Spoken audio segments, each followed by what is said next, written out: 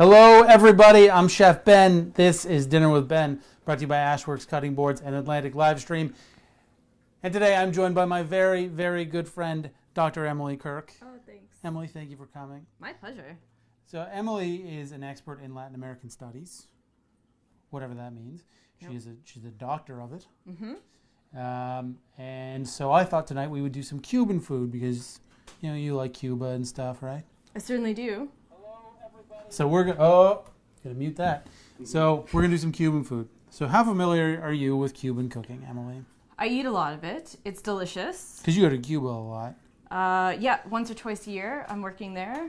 You were just there. Just there in December. Fantastic food.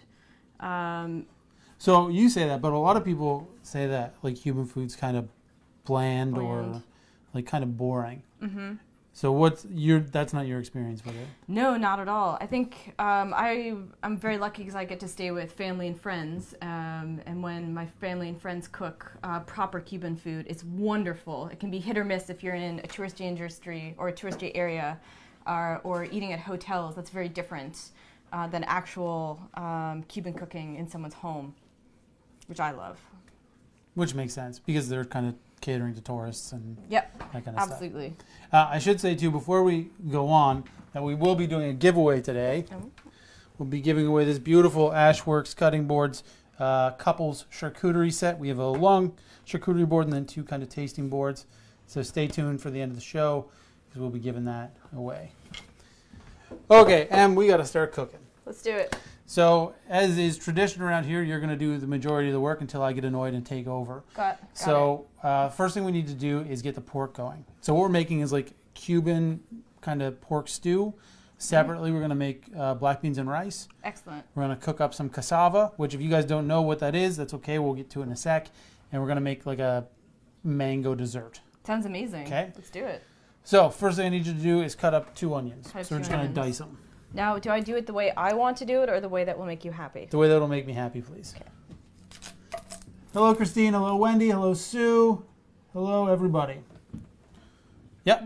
Yep. I'm in this way, right? Yeah, so, but if you flatten it first, and then it's easier to Uh, cut through. And then this way? Yeah. My husband does this and I hate it, so I will acquiesce today. Big words already. Yeah. Big words. What are you, okay, what are you doing? I don't know. Okay, wait, let me see. You go chop, chop, chop around. No, but you gotta cut it in half first. Oh, oh, right. So okay. just straight down through. That makes so much more sense. Hello, Brian. Wendy says everyone seems to know me so well. Well, Em and I have been friends for, like, oh, you gotta peel it first, Em. Ah, jeez. this is why I wanted to do it my way. What are you doing? Oh I can, my god. I can do it. I can do it. How long have we been friends? Like 10 years? Ten years? A little over that? Yeah, it's a long time. No, okay. We'll do this half because I screwed it up. Oh my god. I'm cracking under pressure. Ben. Okay, hold on. Hi, Brian. Nice to see you. All right. Let me just fix this. Okay, let's. I'll do the next one better. I hope so. All right. Oh, sorry, I bumped you. No problem. So again, guys, uh, if you're just showing up, we are doing a giveaway at the end, um, and whoever wins the giveaway, if you live, um, if you live in the HRM, I will hand deliver it to you. Uh, if you live anywhere else, I will mail it to you. Hello, Chris. Hello, Kat. Hello, See, everybody. I can do it. yeah. Cut in half. We'll end off first. So here's what you want to do. You want to cut the top off first, Top off flatten first. it down, peel it, and then do that. Got it. Sue says new rule: all onions done by me before the show. You have my full support. Hello, Mitch. then, Yep. then Yeah. peeled. Uh, this is where I'm gonna get very emotional. Don't cry, Em. It's. Well, you're complaining about my cutting, and I'm doing my best. Well, sometimes your best just isn't good enough, Em. Uh, even talking to my parents. So I'm going to show you a trick with this last one because we're going to need more onions later on. Okay. Hello. Okay. Okay, so with this one, what are you doing? What? Oh, right. I don't know if anybody saw that, but she just laid the knife blade up. It was not passive She's, aggressive. she's angry with me already. We're like two minutes into the show. Fantastic. So Emily, how did you become a doctor? Actually, Uh, before you answer that, watch this. okay. So keep- this seems more pertinent. Keep that on. Oh, right. Okay. That's why you keep your hand up. Got it. If you have your fingers down and you slide through, you're gonna mess yourself up. It's not gonna be pretty. See? Oh boy. Comme ça. C'est très bien. Ouais, merci. Okay, so how did you become a doctor? I feel like I need to have a really good answer because I have not uh, been a stellar performer so far. uh, became a doctor because I have no other life skills, as evidenced by my um, onion cutting, and She says that, but she's a terrific drinker. it's a really good point. uh, It's true. Sorry. that took a turn. Uh, yeah, I loved spending time in Cuba and Latin America. I lived in Cuba and Mexico, and then just decided to go to school to do it. And schools kept giving me money to study that. So I thought, Doing it. seems like a reasonable decision. And now you're an expert. You've got two books under Two your books. belt. Yep. And Working on number three. edited a whole bunch of other ones. Yep. Yeah, she's pretty impressive, and she's my friend. So, That's a two-way street. uh, Wendy wants to know uh, if you find me intimidating. If I find Ben intimidating, in cooking, absolutely. In Just- in just- life, no. That's probably good. I'm not a very intimidating guy, I don't think. Uh, okay, we need some garlic too. No, I want to amend my answer. Okay. Uh, impressive, not intimidating. I'll you're, take that. You're super impressive in you. the kitchen. Oh, you'd. Uh, cou- couldn't just leave it there? Okay, cool. Um, so we need to chop up some garlic. I'm just heating up uh, cast enamel cast iron Dutch oven over kind of medium heat. Uh, there's just some olive oil in there, and then we'll throw the onions in. Actually, we'll brown the pork first. So you want to cut up the garlic. Am I doing it your way or my way? So just cut the ends off. Yeah. So I'm going to show you. That one's already peeled. So I'll show you one. You can do the rest. Okay. Okay. Cut the end off. The end that has like the the root on it. the butt. Crush it. Peel comes right off. Okay, Okay, and then just chop it. got it. Uh, Christine says Buenos noches, Dr. Emily and Chef Ben. Buenas noches. Uh, Christine, I did say giveaway. We're giving away this lovely Ashwurks uh, Valentine's Day set. It is a charcuterie board with two tasting boards. Uh, stay tuned at the end of the show. And again, if you live in the HRM, I will hand deliver them to you. If you live outside the HRM, I will mail them to you. Uh, can the garlic and onions commingle? Yes. As long as the garlic's not cut too small. Oh, too small. So, like, you'll see in some recipes, it'll say, like, dice the onions and then mince the garlic and Yeah. throw them in the pot together. But then the garlic all burns because it's so much smaller than the onion. So, if it's about the same size, it's okay. But if everything's smaller Oh. different sizes. That's handy to know. Yeah. I have actually burned the garlic quite a lot. Okay, while Em's doing that, we're going to talk about this weird looking thing right here. So, this goes by many names. Um, I call it cassava. M calls it yucca, um, as do a lot of other people. Uh, whatever you call it, it is like the third most important starchy crop in the world. Um, it's used in Latin America, it's used in Africa, it's used all over the place. Like millions and millions and millions of people rely on this every day to survive. And we're going to use it today. Uh, and if you've ever had tapioca, it comes from this guy. Now, the thing about it is that it is poisonous if it's not cooked. It has a very high uh, level of cyanide in it and a few other chemicals that can make you very ill. So you have to cook it very, very well. But it's uh, it's a really good kind of like starchy ingredient. It's really good fried in like chips or um, Boiled with salt and pepper. which is what we're going to do stuff? with it. Yeah. So we'll get to that in a few minutes. Meantime, we just have a couple pounds of pork shoulder here. It's just cut up into one or two inch cubes. We're going to season it very well with salt and pepper. So I'm going to get you to grind this on there. Love And I forgot to get salt out. I ran out of salt. Oh no. Did you take yourself out of the picture, Mike? Mhm. Because I was going to introduce you Yeah. finally. Is that sufficient? No, more. Uh, so Wendy says she had uh, cassava this for the first time this summer, and they just boiled it. It's a really, really good uh, kind of root, and you'll see once we finish with it that it gets really soft and tender. But you got to cook it for a while. Is that safe, man? No, but I can't get this stupid thing open, and we need some salt. That's enough. Thanks for calling me out, Mike. Appreciate it, bud. Call everybody else out. No. Do I? Okay, Em, do you want to season up that pork for me? Oh boy. Is that enough? You seem to throw it when you do it. Okay, massage that all in there.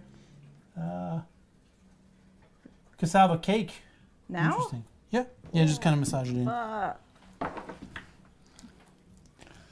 Uh, Christine, what do you do with the cassava cake? I'm interested in that. Oh, my pan's getting too hot.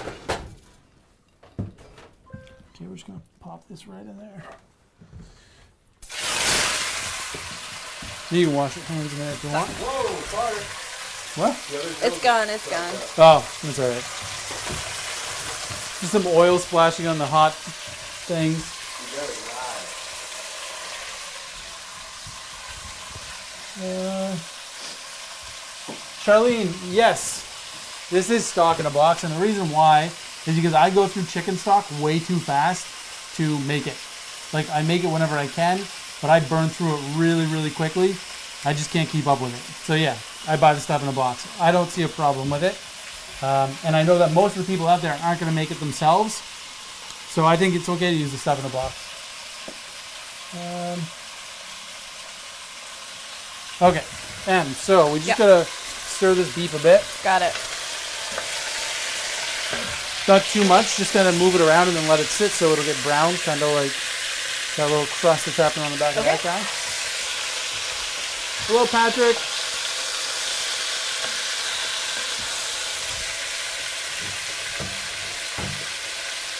So, Em, do you remember when we first met? Yes. It's kind of an embarrassing story for me. It's terribly embarrassing. It's hysterical.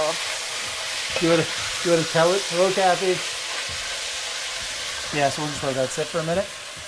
Uh, yes. So I was new to the city, or new again to the city, uh, and a friend of mine invited uh, me out to go see uh, some bands play. Um, and Ben was there, and I was sitting next to him, and the calm, cool, collected professional you see before you uh, was not the same gentleman as I met over a decade ago. And at one point, uh, a band, there was a lull in the song, a nice little lull, and uh, your friend of mine, Chef Ben Kelly, did the most awkward, loud clap it, at the end, or at the um, in this lull. The pause here. The pause. I thought the song was over. He did think it was over. That's not a problem the other hundred people had who were there. I, of course, as a wonderful, supportive friend, just started laughing at him um, with some points. So that was the beginning of our beautiful friendship. Later, he sprained my ankle in a soccer game. Yeah, I got her back. Illegal tackle, You I would it. argue. I would support that statement also. She deserved it. But yeah, all sorts of fun activities. Yeah, we've been friends since. Mm-hmm. Even though you've lived all over the world, but you always come back. Yeah. Because you're from here. This is the best place on earth. No, it's because you're cooking so good. That's true. And I really like your wife. That's fair. Two really good reasons. She's okay. All right, let's take a look at this cassava.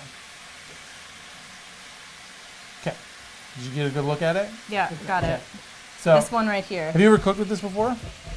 No, I have a lot of experience eating Okay. the cassava, but not cooking. So, I'm going to actually deal with this because It looks pretty aggressive. Yeah, and I don't get to play with it very much either. So we're just gonna pop this off carefully.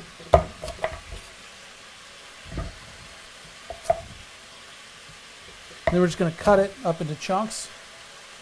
And you should be able So just kind of make a nice little slice. And then maybe sometimes you can just pull the skin right off of it. Yeah.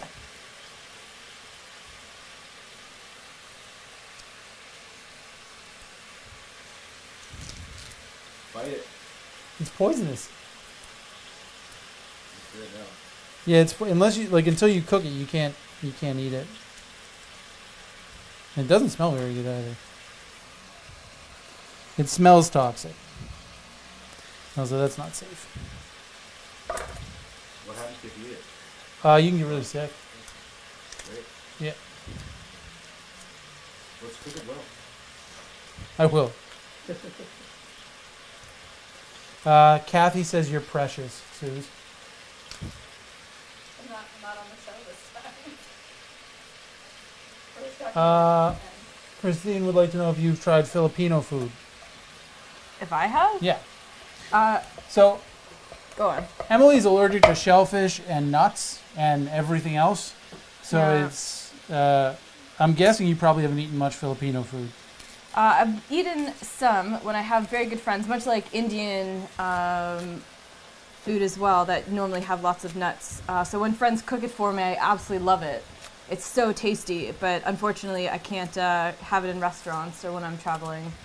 But I'm very lucky to have some excellent uh, chefs as friends or cooks as friends. You have other cook friends?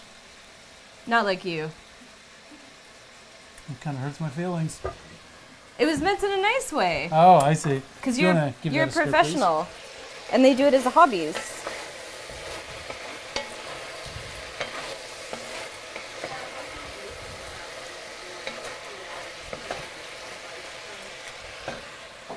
So Sue's just asked uh, what Emily does when she's traveling with her food allergies, and if she has any advice for anybody out there.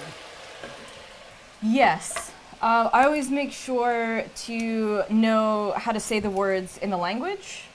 Um, I can't eat this. Where's the nearest hospital? I need a doctor. I'm dying.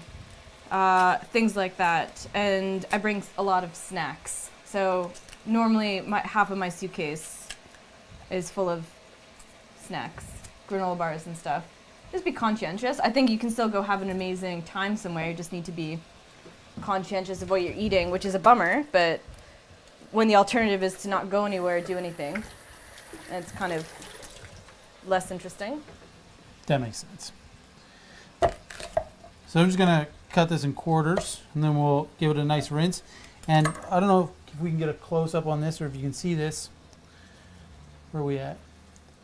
Um, so there's a line here, this yellow line. So once we cook that, that'll come out really easily because that's actually pretty uh, fibrous. It doesn't really Mhm. break down, so you got to take that out. But we can do that. We can either cut it out now, or we can take it out after it's cooked.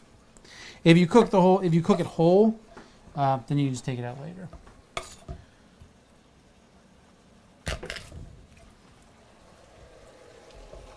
I'm just gonna cut this. in.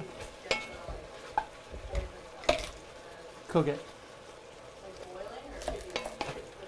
You got to boil it first, and then you can. So you have to boil it first, and then you can uh, like fry it into chips. You can do all kinds of stuff with it after that, but it always has to be boiled first. Wouldn't have wanted to be the person to discover that it was poisonous. Well, it's like anything. Like there's a lot of things that you know you got to cook first, or that you know is only good for you at certain times of the year, or like anything like that, right? Somebody discovered it all, or all the weird like berries and stuff that are poisonous. Mm. Somebody tried all that. Oh, I'm missing comments here. Uh, thank you, Wendy. Wendy says I'm one of a kind. That's so true. Hello, Steve. Uh, Christine says they don't have much nut-based food except one. Mostly eat pork, chicken, and beef. Hello, Cassie. Uh, yeah, yeah, you can boil them whole and then take the core out too. But I don't want it to take that long to cook them, so that's why we're cutting them up. So we're gonna take these. Can you throw all this stuff in that bowl back there, please? And we can add the garlic and the onions to the The meat. to the pork. Got it. And I know that some people are watching and they're looking at the pork and they're saying that it's just boiling. This is like, this is not French food. This is not Italian food. This is a very kind of Cuban way to do things. It's not necessarily the way I would normally do it, but we're trying to stay as true to. so right in with the meat. Yep. Yeah, just dump it all in there. As true to tradition as possible. Now we'll get this on here. Yeah. I think with the uh, a lot of times with the Latin cuisine, not that I have much experience with anything else, but um, I find frequently there's things that need to cook for a super long time as well. Yeah. The culture of the women staying at home historically. Yeah. And so actually this meal Oh, it Um, smells amazing. So I was talking to Mike before we started. This meal, I was actually doing a bunch of research into Cuban food, and I noticed I was watching this show, and they were following all these like uh, sugarcane farmers, Mm. and so the wives would cook all day, and then the farmers would just come and they'd eat right in the field. And so this is actually kind of based on what I saw them making on that show. So it's this meal is kind of like you're in the middle of a field, you're cooking with what you have, you know very much peasant food, which in most cultures is the best food. Mm-hmm. Less faffy. Yeah. So Emily, Benjamin, you're a doctor. a PhD, not not the one that can help. Where are you a doctor? I'm a uh, doctor, a PhD at uh, work at Dalhousie University at the moment. Oh, is that a? That's a. I've never heard of that school. Is it a? Scholarly institution in Halifax, Nova Scotia. I used to work at uh, the University of Nottingham in England, but for the last three years I've been at Dal. So it's been really nice to come home. And for those uh, regular viewers of the show, you may remember uh, another guest who also works at Dalhousie University. He works with Emily in the same department. Dr. Bob. Is Bob, is Bob a doctor? Yep. Yeah, Dr. Bob Hewish, who was a guest a couple weeks ago. Uh, yeah, you might want to wash your hands because the yucca. Good call, Wendy. Thank Thanks, you. Wendy. Thank you. Okay, so we have the pork on. It's kind of boiling in its own juices. We have garlic and onion in there. We're gonna add some tomato paste um, and some chicken stock, and then we're gonna kind of just let that cook. Then we're gonna finish it with uh, some lime juice and a big uh, kind of tablespoon of cumin, which is very Mm. common in Cuban food to finish things with cumin, as opposed to in like uh, Mexican food or Indian food where you would kind of sweat the cumin out and get all the flavors out of it. They just throw it all in at the end. It Sounds delicious. Yeah. So I'm gonna get you to open up this can of tomato paste. Not a can of whoop ass. What? Not a can of whoop ass. A can of tomato No. paste. And just leave the leave the jokes to me, okay? Okay. That seems reasonable. Uh, uh, Cuban dish with plantains, probably. Uh, there's a lot of plantains in Cuba, And there's so many ways to cook them. They're delicious. and actually, the dessert we're gonna do a little later on can be done with plantains. It can be done with uh, green mango. go. Can be done with uh, green passion fruit. Anything. Apparently, uh, you've got a Noted. Okay, so I just added two tablespoons of tomato paste in there. Em's gonna give it a stir. Then we're gonna add about uh, two cups, cup and a half, two cups of chicken stock.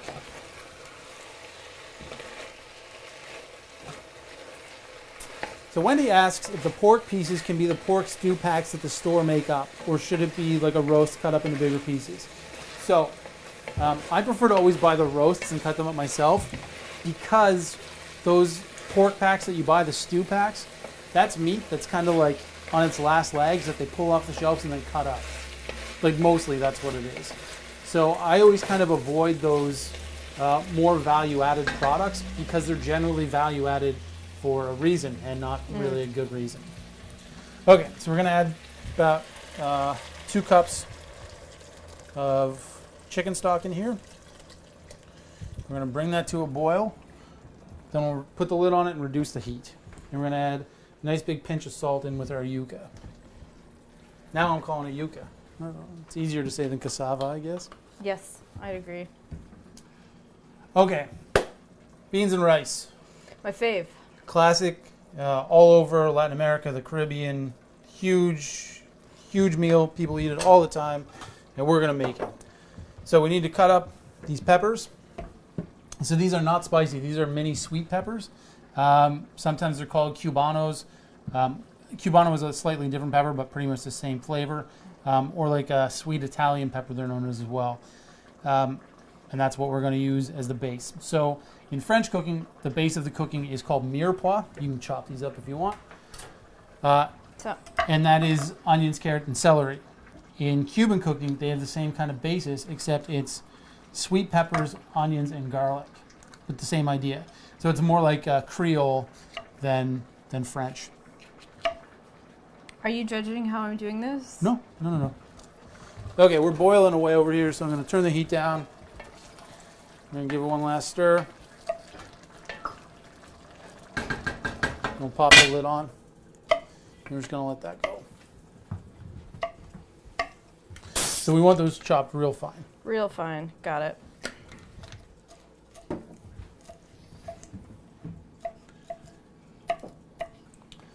Uh, is cassava related to parsnip? I don't actually know that. I don't think so, um, but I don't actually know for sure. Good question, Helen. I have no idea. Yeah, I don't know. Where'd the research team go? Suze? Yeah, is cassava related to parsnip? Looks it. Does kind of look it. Texture wise? Uh, once it's cooked, it's more like a potato. Yeah, Like a stringy potato. it does. It smells pretty good in here already. It does. Smells fantastic. It's kind. Of, I would say cassava, like when it's cooked, it's actually similar to like a cooked plantain. Yeah. Would be what I would kind of compare it to. So Emily, you're a world traveler. You've been where have you been? And you've been all over the place. Uh, not to too many places, but around 30 countries or so. Yeah, not too many, just thirty. Just thirty guys. No Middle. East, Europe, Caribbean, South America, So every everywhere. Canada, the U.S. I've been to the U.S. twice. Okay, where haven't you been? Haven't I been? Well, that's relates back to the peanut question of um, a lot of Asian countries I'd love to go to, but haven't had the opportunity. I'm quite spoiled with work that I get to go to Europe a fair amount. You're actually going, like, in a couple of days, And right? on Valentine's Thursday, Day. yep. I'm gonna show my husband I love him by abandoning Leaving him.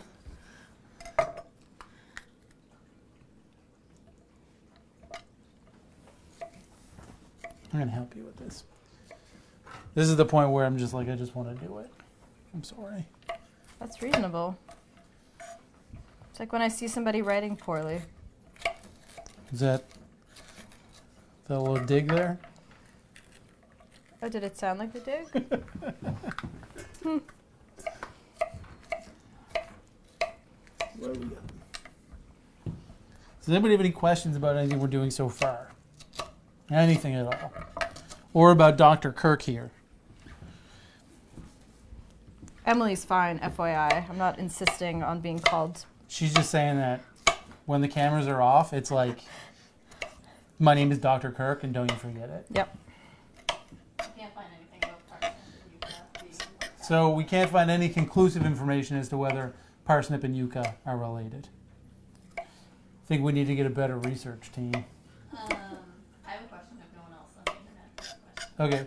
And your list of countries that you went to, you mentioned the Middle East. Well, in areas you went to, I guess the Middle East. What countries did you go to? So Suze wants to know what countries in the Middle East Em has been to. Uh, Israel, several times. Uh, Palestine, if we're counting that as a country or a nation, depending on political views, and Jordan.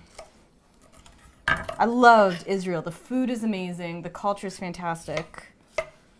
Tel Aviv is an outstanding city. I really loved it. Seriously thought about moving there, but as a Latin Americanist, I couldn't get much further away from the area. Latin America? Yeah, Yeah. the area I work in. Uh, so you've written two books, right? Well, I fully wrote one. The second one was edited. You edited one. Yeah. Okay. So you wrote one book. So you go around here telling everybody you wrote two books. I say I published two books. Oh, it's a oh. great scholarly trick I to make yourself sound far more impressive I than see. you are. Uh, and would you like to tell the world what your book is about, Emily? Uh, the one I wrote 100% is uh, about improving sexual diversity rights, but instead of using, so LGBT uh, rights, uh, but without uh, using a human rights based approach, which is the normally people say, it's my human right to do this, my human right to marry who I want. Um, but instead, what they did in Cuba, which is what the book is about, they used an entire approach based on uh, health and well being. So the central argument isn't on um, human rights, but rather on healthcare. Uh, so you've never seen it elsewhere in the world, and it's been very impactful. So that was the book number one. And the second one's a kid's book?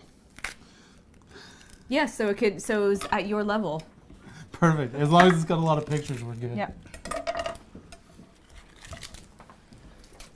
And where can they buy your book, Em? One can buy my book. Uh, Amazon, Google Books, can order it online. It's published by Lexington Press in the United States. There you go. And you might even, if you read the the uh, thank yous, you might even see a familiar name in there. hmm This guy. This guy is such a good friend. He even read my doctoral thesis, which It's true. is an extraordinary feat because I mean, I wouldn't have passed her, but that's that's just personal. beautiful. There's a reason you don't hear a lot about people reading doctoral theses. They're so boring. It wa it wasn't that boring. I will say that. It was actually really interesting. He said it wasn't a page turner. It was. It's not. It's not like a like a an Ian Fleming book. I'll say that. But there wasn't enough mystery in it. No, not this time. Uh, and we need some more garlic as well, so we can put the onions right in there with the Onions peppers. So I should explain what we're going, what we have going on here.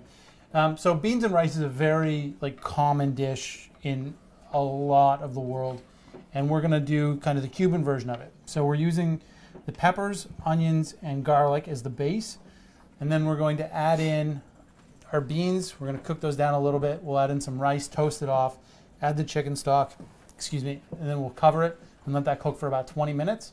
Then we'll season it. Dunsville. How much? Dunzo. So we're going with about four cloves. Four cloves. A lot of garlic in Cuban food. A lot of garlic.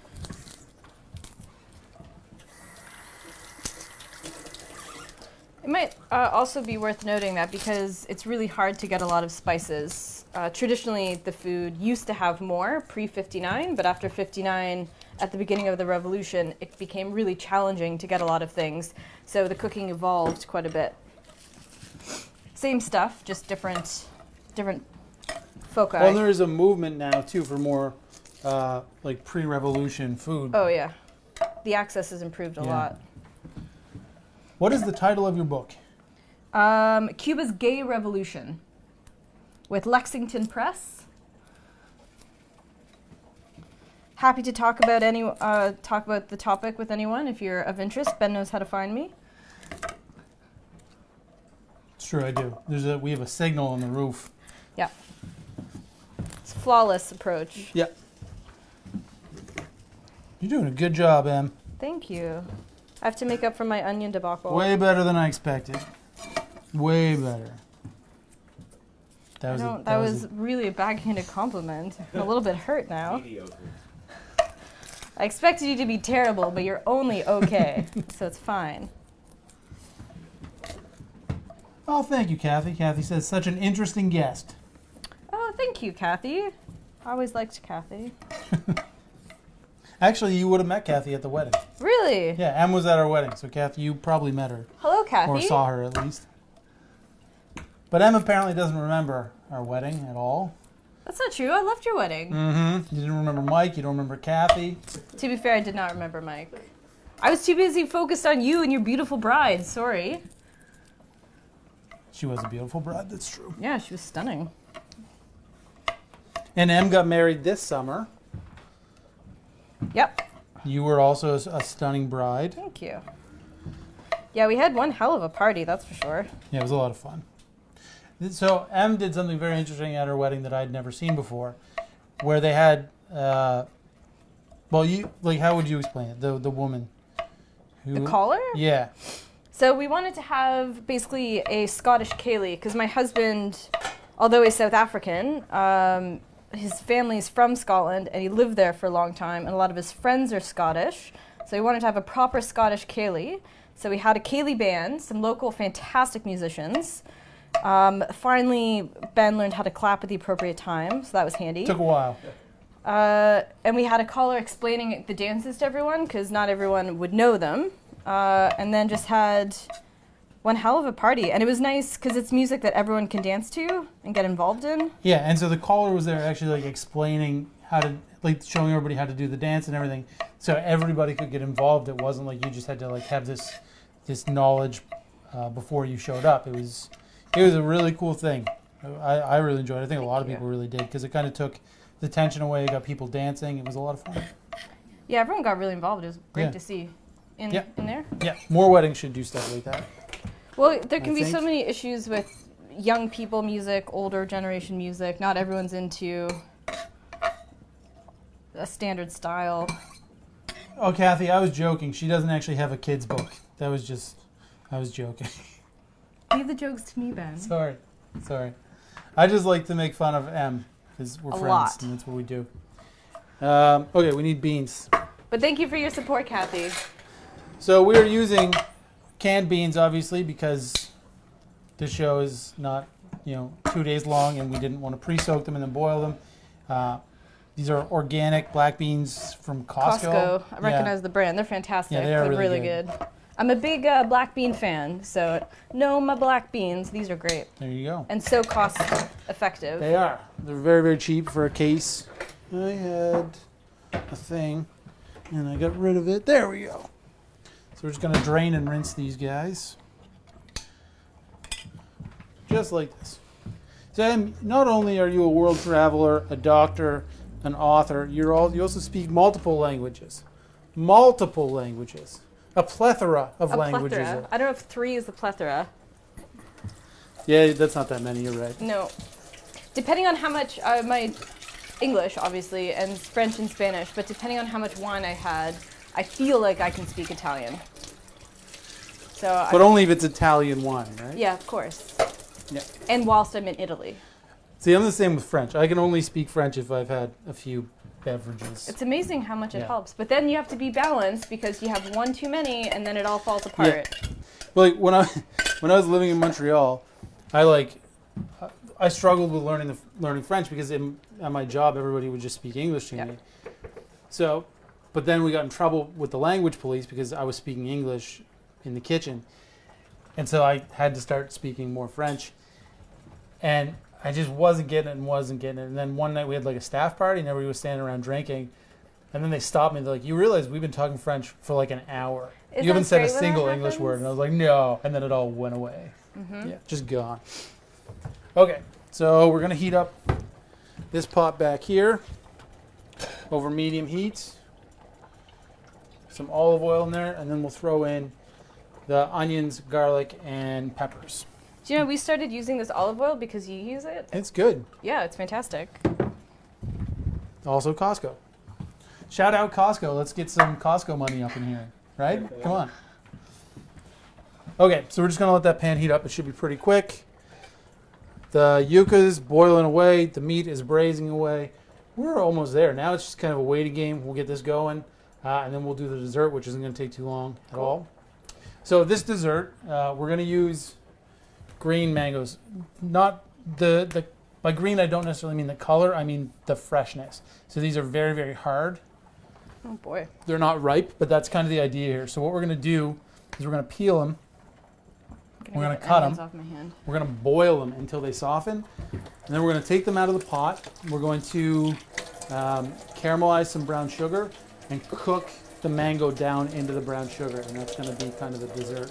So, again, this is something that you would have in a field as opposed to in like a nice restaurant.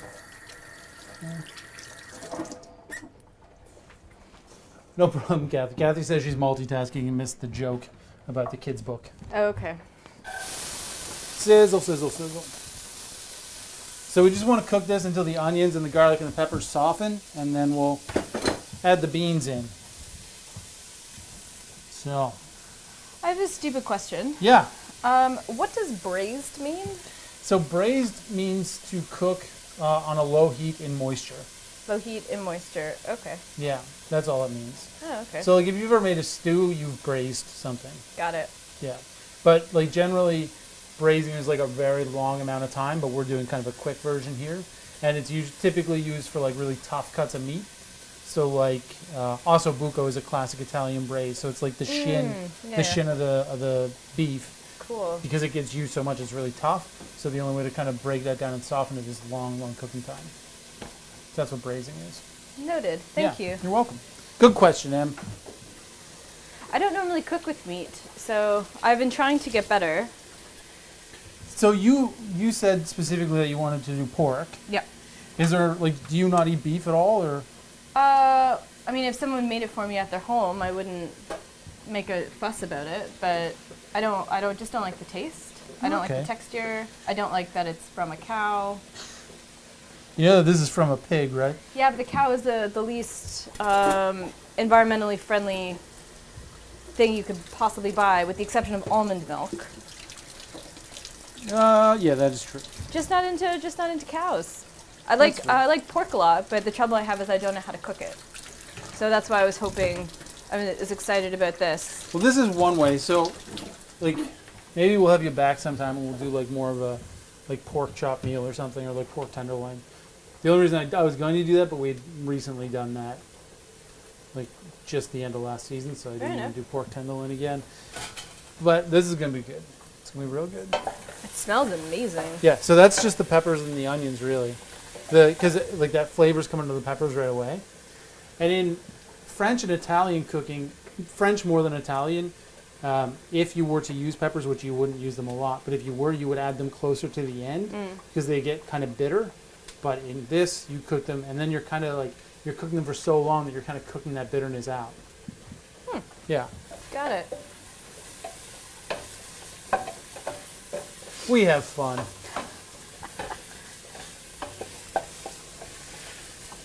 So you see, you see how it looks kind of like um, almost a little creamy. Yeah, You yeah. see what I mean? So that's that's what's called sweating the vegetables. Okay. So we're drawing the moisture out of the vegetables, and that's going to kind of go to flavor our rice. Got it. Yeah. And those look pretty soft, so we're going to drop the beans in there now. And even if we were using dried beans, we'd have them cooked before. We'd, we'd have them already softened. Beans away. And actually, we're going to add bay leaf in here too, Oh, good call. which is another classic kind of Cuban flavor. So underappreciated the bay leaf. The humble bay leaf. Delicious. So, have you ever heard the saying resting on your laurels? yeah? Bay leaf. Really? So, bay laurel is the plant that bay leaf comes from. oh, cool. Yeah. Would you like me to put one in? Yeah. Just gotta And actually, if you've ever seen like the old Roman, like um, where they would have the kind of headpiece, you know what I'm talking about? They would have like um, Yeah, yeah. that's bay leaf, that's laurel. Cool. Yeah. So is one enough, or do you want more? Um, one's good. Well, sometimes if they're smaller, you want Yep. a little extra. Um, No stranger to the bay leaf. let's see. We like a deer roast is braised for a long, long time. Yeah. So with deer roast, I mean, you could slow roast it. Um, so the only real difference between roasting and braising is the moisture. Oh, okay. Yeah. Uh, I'm curious about the mango cooked in brown sugar. We're gonna get to that. I'm excited for that too. Um, yeah, we're getting there. Do it. Okay, so we're just gonna add the rice in here and toast that for a sec. Toasted, toasted, toasty. Now, because of the way we're cooking this, the measurement of liquid to rice doesn't really matter that much. Like we want to kind of gauge it, but it doesn't have to be super specific. Okay. Um, so Good. we're still going to try and get like a two to one ratio, but if it's a little off, not the end of the world. Okay. It's always better to err a little bit more than a little bit less. Because then we can just let the rice steam a little bit more and we'll absorb more of the. Can you are you seeing that in the? Yeah. It looks so pretty. Hold it right up the camera. So pretty. Okay, so I'm going to turn this up to high. I'm going to put in the rest of the chicken stock, which is about two cups. So the rice is two to one ratio, so that should be good. Fantastic. It's so impressive that you can just decide how much it is. I'm very the type of person who constantly needs to measure. It says two cups, it must be two cups. This is cooking. This isn't baking. If so, if I was just making the rice on its own, I would I would have that kind of exact measurement. Okay. But with this, because there's the rice, if there isn't quite enough moisture in here, the rice will pull it out of the peppers. It'll pull it out of the beans. So it, it will just draw the moisture out of the things anyway. Oh, okay. And if there's a little too much, the rice and the beans will both absorb it back up. oh, Yeah. got it. So we're just going to bring that to a boil, just like you would normally with rice. And we'll put the lid on and turn it down, and we're just going to let it simmer for 20 minutes. We'll just add some salt and some pepper. And then we're going to finish it with a nice big pinch of cumin. So you want to put some pepper in there? Yeah. How much? Oh, just enough. Got it. Just enough. Do we have any questions? Uh, are you caramelizing? Yeah, so we are going to caramelize the sugar with the mangoes. Uh, we'll boil the mangoes first in water. Uh, you could do it in a sugar syrup too if you wanted. We'll drain them. We're just going to boil them until they soften. We'll drain them and then we'll make a caramel with the brown sugar and cook the mango into it. Uh, Steve, I didn't even know you could grow bay laurel here. That's amazing. So Steve says they grow bay laurel. They actually have four trees, Cool. fresh off the tree into the soup. That sounds delicious. That's amazing. Yeah, I like that. Okay. Mike's getting hungry, I can tell. So the the first show Mike did here, it was like, I think it was, was it Bob? No, it was by myself, right? Yeah. So, it was like the salad was done, so I gave him the salad, and the main was done. So he like ate throughout the show, but then Nice. every other show, it's just like all the foods at the end, and I can see him kind of like, just like, give me some food, man. Hungry man. Well, also smells amazing. It's worse when you can smell it ahead of time. I feel like if you're hungry. Boil, baby, boil. It's coming. So close. So close. So this would be a good time to uh, reaffirm our giveaway. So we have this beautiful set of Ashwurks boards. We have a charcuterie board and then two tasting boards. So you know you're a couple. You sit down, you make a nice charcuterie plate on this guy. Then you each get these as plates. Terrific. We'll be giving these away at the very end of the show. So stay tuned for that. Uh, Kathy, this is not five minute rice. This is uh, basmati rice, so it's going to take about 20 minutes to cook. Not these. These are cutting boards. The rice we put in there. This is the basmati. And it's almost up to a boil. What else we got? Uh, yeah, so the the caramelized mango would be really good on ice cream, um, but they didn't have ice cream in the field. They didn't. When I was watching it, they didn't have ice cream. So No. Harder to make that there. yeah, a little bit of cream would be good. Uh, we're just gonna have the mango straight up with a little pinch of salt.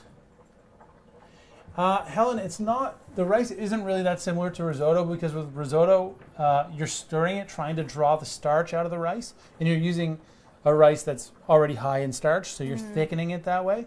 With this, we're just essentially it's more like a rice pilaf than anything else, and it's boiling, so we're gonna pop the lid on.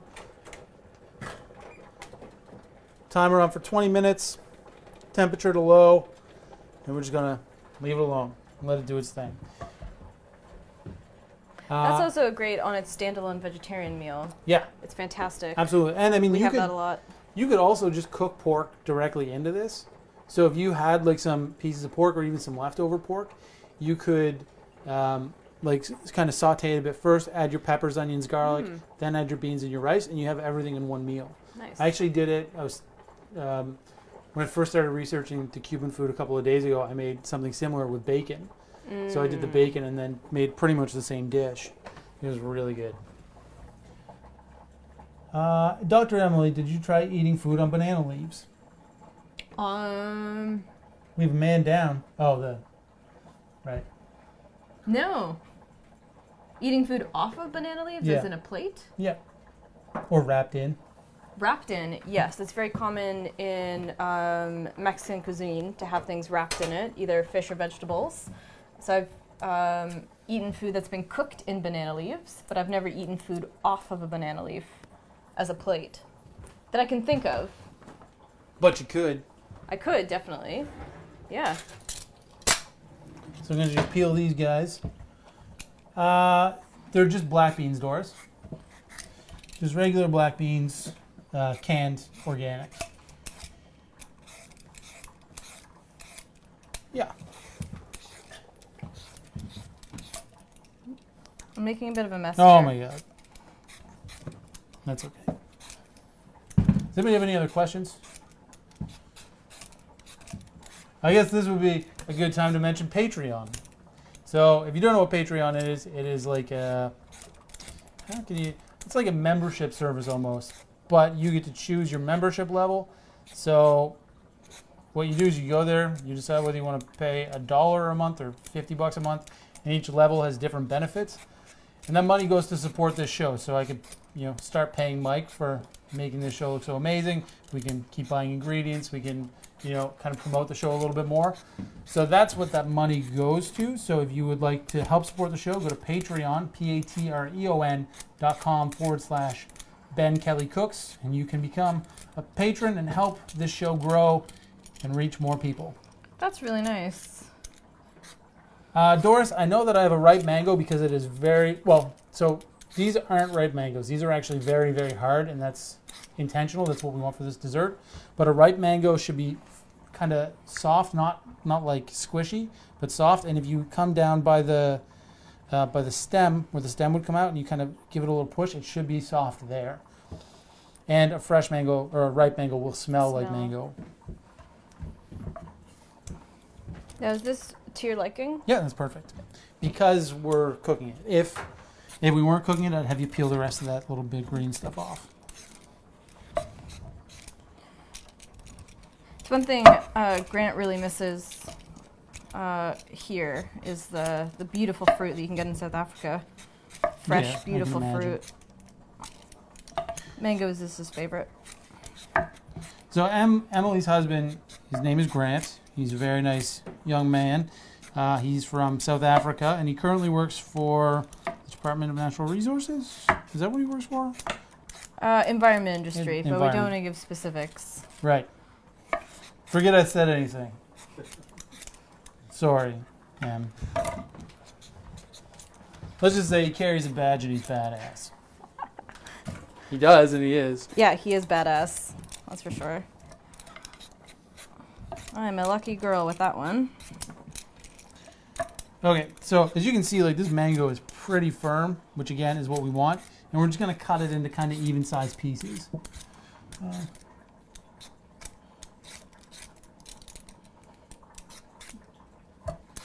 so Christine says in her country they use banana leaves as plates. Uh, even when they eat in the field, they'll have like cooked fish, raw tomato, Mm. salted egg, and steamed rice. Sounds delicious. That does sound awesome. Oh, hello, Mike. Mike Hall just joined. Hey,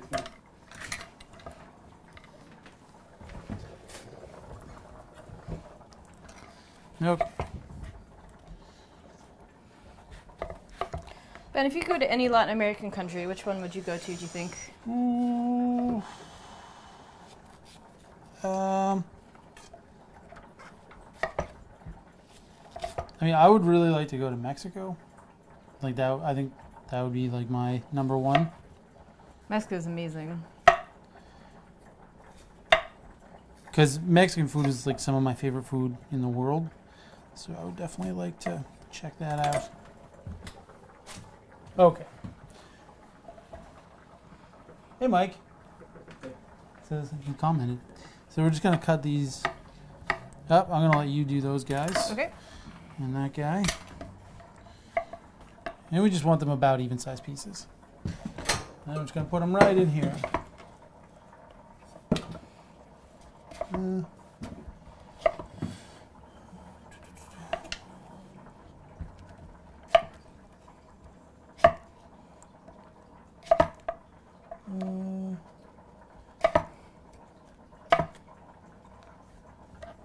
yeah, I can. I'll put a link. Uh, yes, I'll put a link somewhere. Actually, I can probably do it right here. Hold on, let's see. Facebook doesn't like when you put links out of it, but we'll see. Uh,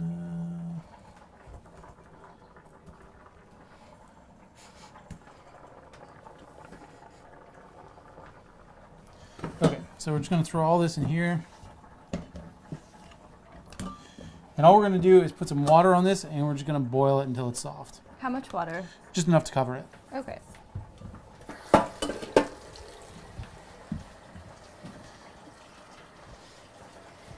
Oh, the link worked? Awesome.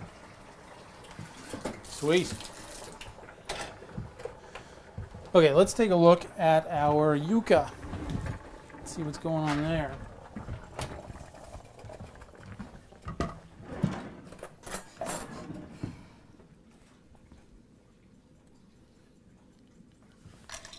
Okay, so you can see it's pretty tender. It's coming apart. Looks pretty done to me.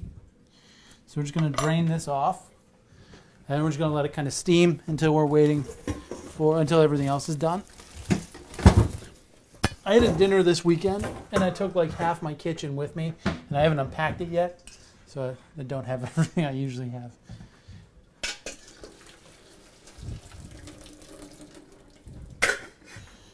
Yeah, it seems precarious. We'll put it there. Done. Oh, that's clever. Okay. Oh, it's so nice to see that here. I've never had it in Canada. What? Yucca. Oh, nice. Yeah, so I got that at Pete's. Um, it was like three dollars for that piece. Right on. Yeah. Uh, is it like rice pudding? Is what like rice pudding? Oh, the the rice that you use for like risotto. What are we talking about? Mango is in a lot of different cuisines because it grows in a lot of different places. It's very tropical. It's delicious. Uh, what else do we got? And where it grows naturally inexpensive. Yeah. Not so much here. Uh, so, Christina, I boiled the yucca for about yucca for about 25 minutes, just until it was soft, um, just until it's not poisoned anymore. Um, oh, cool! Steve says he's going to make chef toolboxes. That's awesome. I would like that. Uh, sweet. He says that it'll ask for my design ideas. Nice. Okay, so we're just kind of waiting here. I should turn this off. I shouldn't. I shouldn't have opened the rice. I was not thinking about why. What I did, did, but I did. That's okay. Let's take a look at the meat. Ooh, Oh, that looks great. meat.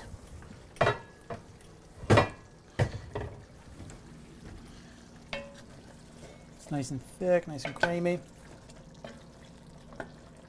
Beauty.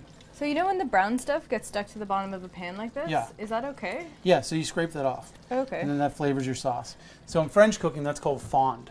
So, well, like if you were searing like a steak or something, you take it out of the mm-hmm. pan, and there's like brown stuff on the bottom. We drain the oil and use like wine or stock to lift that up, and then that would ah. like flavor our sauce or or whatever. Okay, so don't panic. No, no, no. You want that. If it's black, you don't want it. But if it's like a light brown or, then just scrape it into your sauce, and that's all flavor. Cool.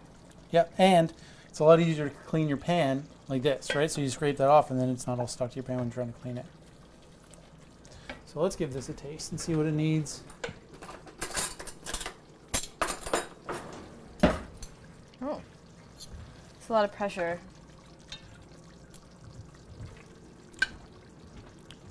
All right. Oh, that's lovely. It is. But we're gonna add a pile of lime juice in there Mmm. and some cumin. Nice.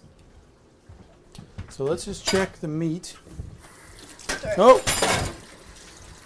I was very confused. I felt something and I was like, what? There's nothing there. So, now ideally, because it's a pork shoulder, it's a, it's a more tough cut of beef, or pork rather. So, ideally, you would cook this for like hours and hours and hours. But this is what sausage will be made of. Oh,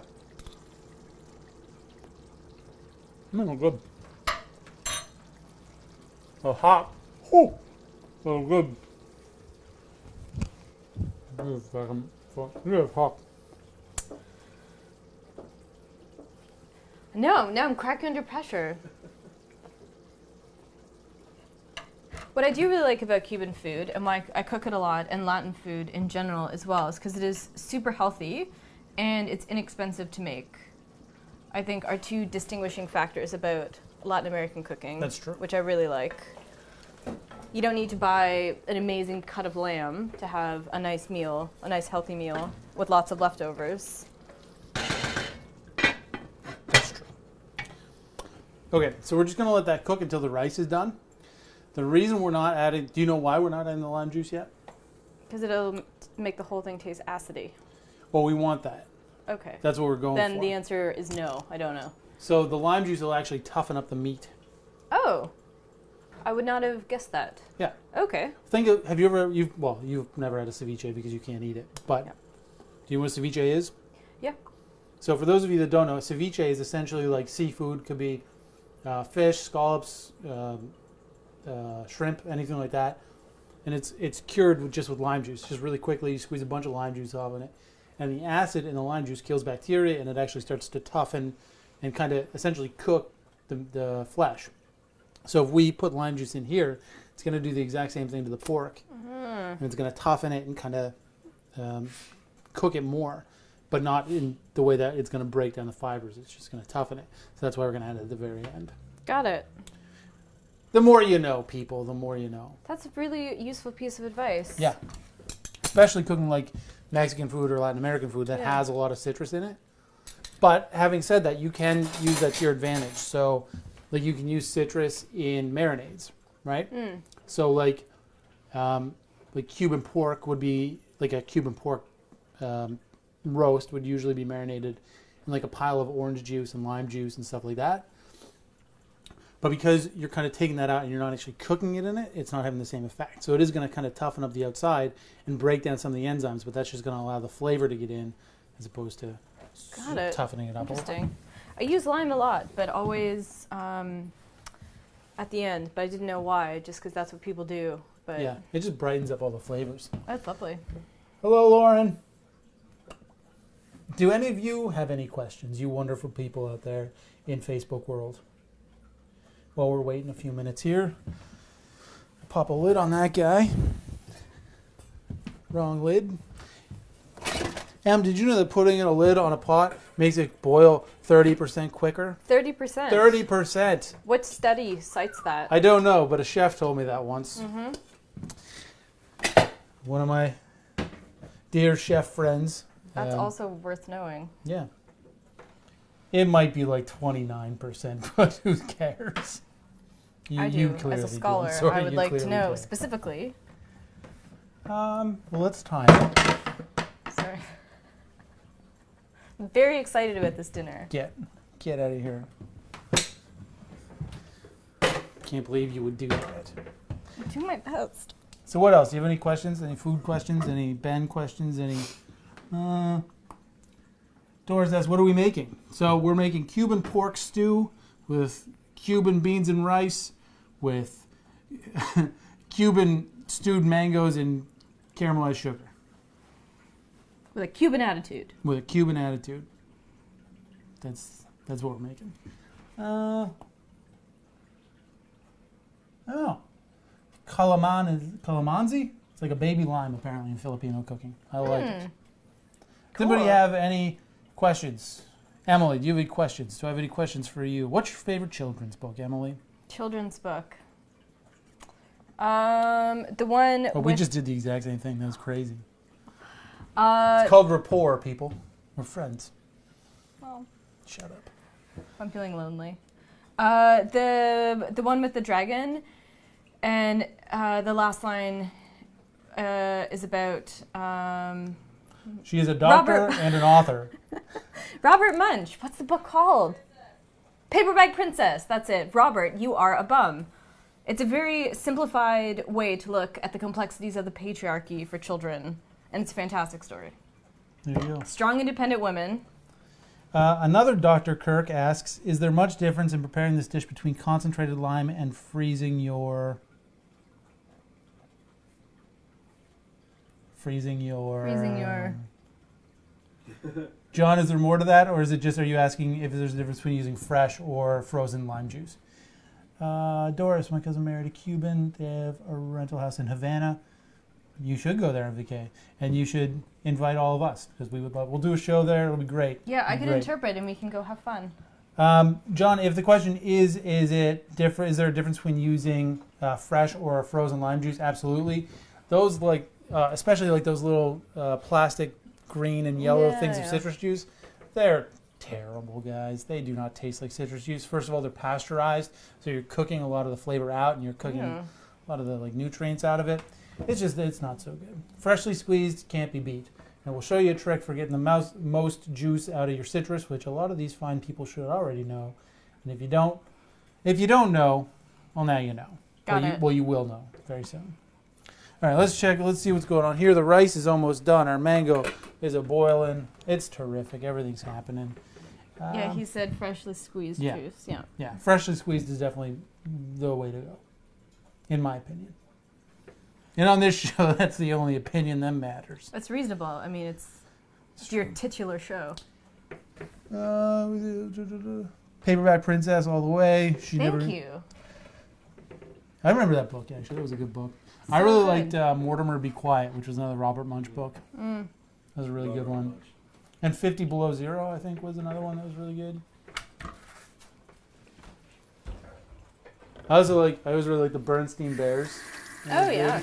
good. good stuff.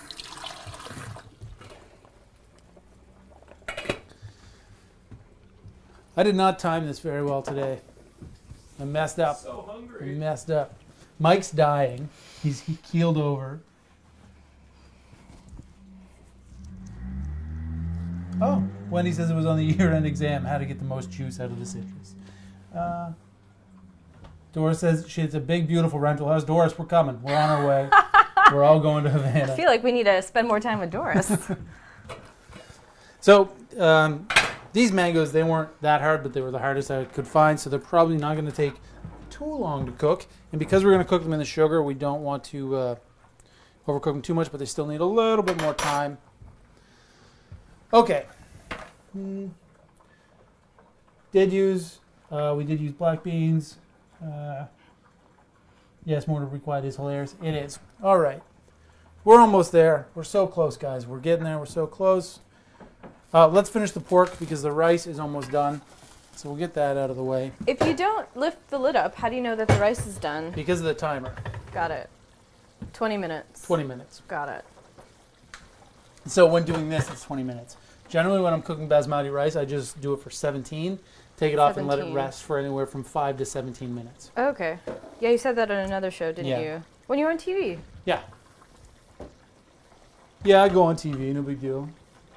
Well, with this face, who could blame people for wanting to watch you? It's almost mandatory.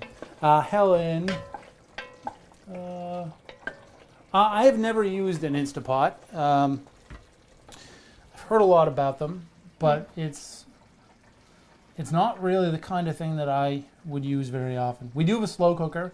I used it to make apple butter recently, Mm. uh, and sometimes I take it with me when I do dinners. Like if there, like I did a big cocktail party and we had chili as one of the things. We had a chili station, so I took it to keep the chili hot. But that's about all I use it for. It's not. I, I prefer to cook like this, but I have heard good things about the Instapot. Um, maybe I will see if I can get one and do a review of it because I think that would be interesting. Yeah. Rice is done, so we're gonna pop that off. We're just gonna remove it. We're gonna let that sit for five minutes, just five. So we're gonna roll these guys, comme ça, just like this. Two at once, Sam. Two at Two once. ones. We're multitasking. So uh, you can use jasmine rice. Um, I don't know. I actually don't know what the typical rice in Cuba is. There's so many different varieties of rice out there. Um, but uh, sometime in the next couple of months, I'm going to do a whole blog post about all the different varieties of rice. I just don't know exactly when. An Instapot is like a slow cooker. It's like a very high tech slow cooker. Okay, limes. We got them. You want them. Let's do this. So we're gonna. Do you know how to do this? Do you remember? I've seen it. I've seen it on TV. I've seen you do it on TV.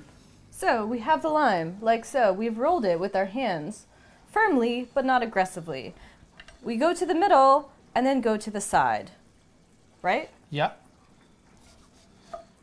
Because you did, you did. I'm so proud of you. because we don't want I'm so this bit in the middle. That's so true. Let's do all of them. Oh, oh. Oh, I didn't realize it was a pressure cooker. Also, that's interesting. I like that. What's that? Oh, that the uh, uh, Instapot is a pressure cooker. Oh. I did not know that.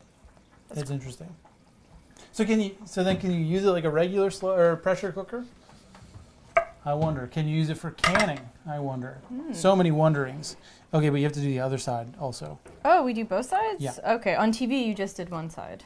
Um, a couple times I've done the whole thing. Maybe you should watch more when I'm on TV. Sorry. Okay, let's check our mango. Yeah, they're soft. Now, let's drain these guys. Um, So they're just fork tender, just like a potato would be fork tender. That's all I'm looking for here. I'm gonna drain these guys off.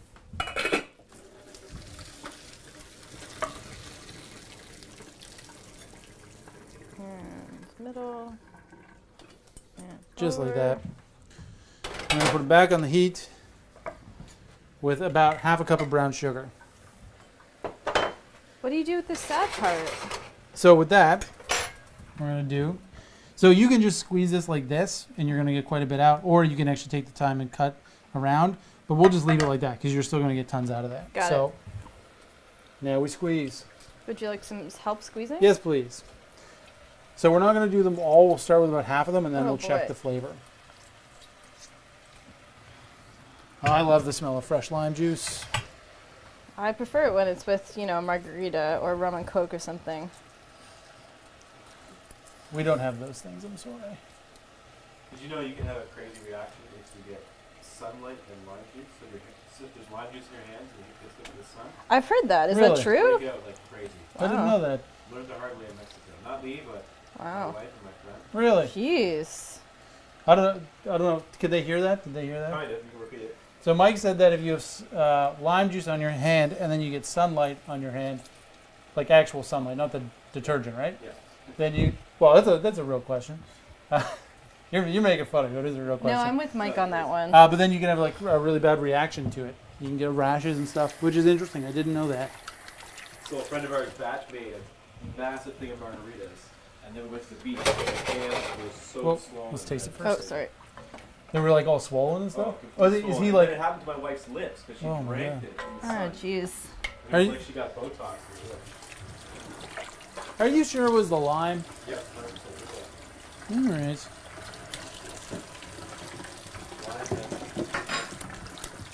Okay, so we get the lime in there. We're not going to need the rest of those. And I'm going to put, I actually didn't realize I was so low on cumin. So we're going to put half of this, which is about a tablespoon in total. We're going to put half of this in with the pork and the other half in with the rice. Ideally, it'd be about a tablespoon in each. Just like that. So I'm going to get you to stir, Stir. that up.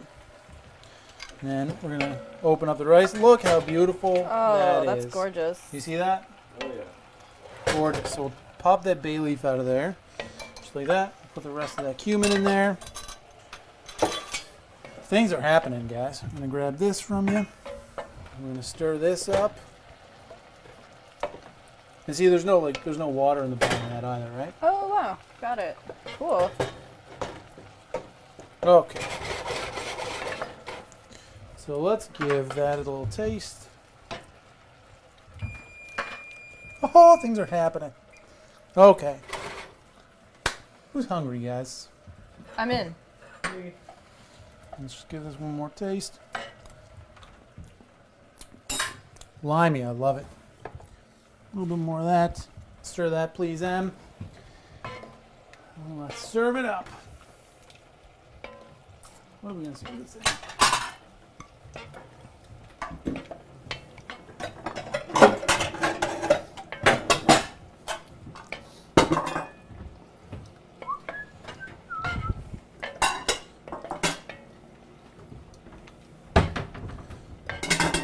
Are you guys as excited as I am? Because I think this is going to be Yes. real delicious.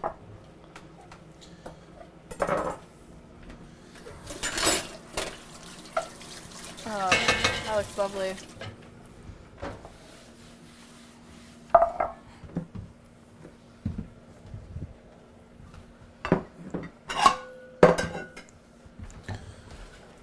Okay.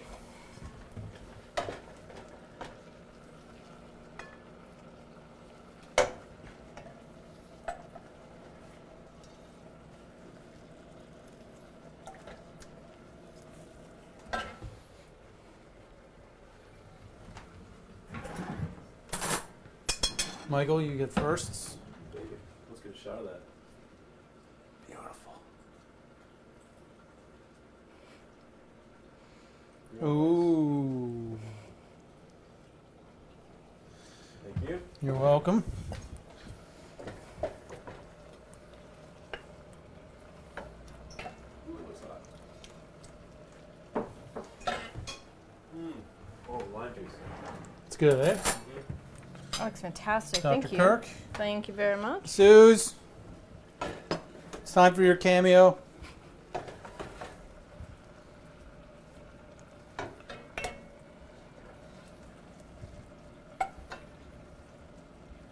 Smells amazing out here. I don't think you're gonna like this. You're being sarcastic. No, I'm serious. I assume you're being sarcastic still. What? I assume you're being sarcastic still. No, because I don't think you're gonna like the amount of lime juice in it. Am I gonna get a burn on the lips? Later on this time? Yep. Is it like Or is that in the dessert? What? That's the dessert. There you go. It's the peppers you're seeing. Okay. Well, that's a pretty one. I'm going to take a picture of this real quick for the recipes tomorrow. So, as usual, the recipes will be out hopefully tomorrow.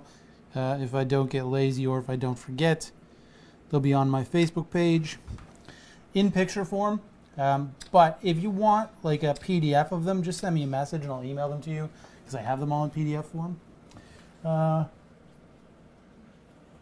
uh, so we have way more than four servings. We could probably feed six, six with this, and I started with about three to four pounds of pork. Okay, let's give this a try, Em.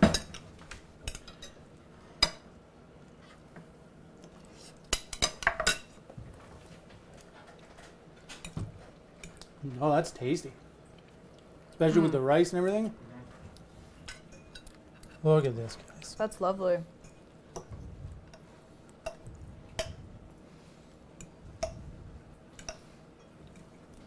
Excellent teamwork. Good job. Over. The mangoes are getting there. They're almost starting to caramelize. We're going to finish that with a little pinch of salt. Just like that. Then we're going to uh, add a little touch of lime juice right at the very, very end. Okay, so before I take a big bite here, we should do our giveaway.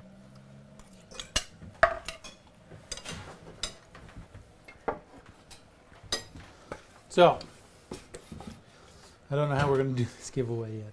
I've been thinking about it. I don't know. Um, any thoughts? Well, how do you normally do it? Oh, we've done a few different ways. Um, Skill testing question. what is the name of my dear friend Dr. Emily Cook, Kirk's book? The winner will receive this beautiful uh, romantic set of Ashwurks cutting boards. Uh, cutting boards. We have the charcuterie board and the two tasting boards. They're beautiful. Um, so, who can name Emily's book? Do you think, Em? I don't know. I feel really self conscious now. And to sweeten the pot, I'm gonna feel bad if no one knows. I'll throw in one of these terrific Chef Ben uh, basic salad dressing recipe and basic food temp magnets. You get the magnets, you get the charcuterie board. You oh John John Kirk, I Mm, that seems like cheating. I, I can't give it to you, John. I'm sorry, you're the dad. But now now he's ruined it for everybody. I didn't. John, I'm going to throw this to the people and see if they think you should get it. So, John is Emily's dad. yeah. Um, He's very familiar with the book. I'm going to need a yay or a nay from a, from a bunch of you to see if John should get it. If not, we'll do a different draw. hmm That's that's reasonable. Sorry, John. I'm going to keep eating. Yeah. Let's see some yays and some nays.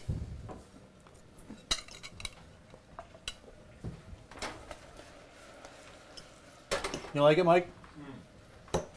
Worth the wait. A little different. Digging the lime. Yeah. Mm, yeah, it's fantastic, What's isn't the it? sauce? I just took a big bite.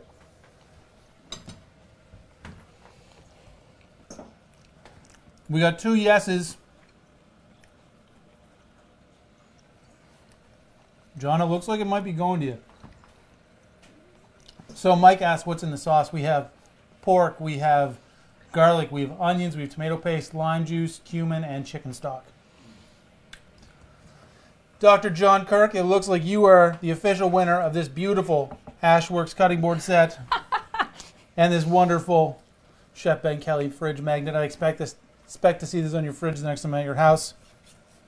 So we'll set this aside. That's really nice of your fans. It is very nice of watching. Everybody says yes. It's all yours, John. Okay, one last thing. Let's just finish up these mangoes.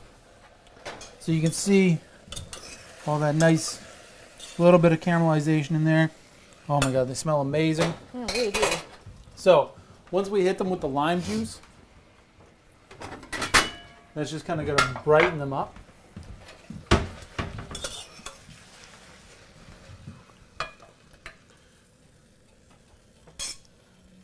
Oh wow, they look great. Yeah. They almost look like canned peaches. Yeah, that's what it is. Have a little more salt on here. You know what? You know what, Em? Let's get crazy here. And let's. Oh, JK says we'll treasure it. Thanks, guys. You better, John. Uh, I'll be right back. 10 seconds. Fill time, Em. Fill time. Fill time. Um, interesting fact. Um, I also started Cuba studies because my father is a Cuba specialist, so I'm sure he's quite keen on on this episode as well, and will certainly appreciate the support and solidarity from everyone. Uh, okay, so we're going to add just a little bit of lime zest to this because we're crazy and we love this stuff.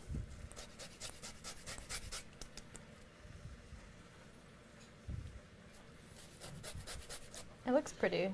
It does look pretty. A little bit juice on there. Em, I hope you know part of the deal is you get to do all the dishes. Uh, I did not sign up for that. We can do some teamwork dishes. Oh, thank you. It's gonna be real hot. I'm glad you warned me. Oh, that's wonderful. Ah, that's a slippery mango. Slippery. That is a slippery mango. Get back here. Let's dig in. Okay. Dr. Cr- oh, I was gonna. You gotta get another one. I was gonna cheers you. Okay, yeah, I'll get another one. Uh, Doris, these are not organic limes. They're just regular ones. They were 79 cents at Superstore. Uh, I'm not that fancy. I'm sorry. I wish I was. Um, but I did wash them. Okay. Dr. Emily Kirk, thank you Kelly. for being on the show. I very much appreciate it. You did a fantastic job. You're welcome back anytime. Thank you, Chef Cheers. Kelly. Let's give this a try. Ah, hot. Again, I just jumped in. Frankly, it's so good. Oh my god, it's so hot. Really lovely flavor. Wow. Thank you, Wendy. Thank you, everybody, for watching. I sincerely appreciate it as always. And again, if you'd like to support the show, go to Patreon. I'm going to throw the link in here again. Patreon.com forward slash Ben Kelly Cooks. And for as little, no, that didn't work. For as little as a dollar a month, you can help support the show. Help me get the groceries for the show. Help me pay Mike so he doesn't leave and so we don't go back to the one cell phone camera. Um, yeah, thank you, everybody. Uh, thank you to. Hold on, I'm going to. Just give me a second here. What am I trying to do? Okay, there's the link patreon.com forward slash chef Ben Kelly Cooks. Thank you again to Ashwurks Cutting Boards. Thank you to Atlantic Livestream. Thank you to my wonderful guest, Dr. Emily Kirk. Pleasure you can find her at. Dalhousie University. Yep. Uh, and you can find her book, Cuba's Gay Revolution, wherever fine books are sold. Yep. Is that correct?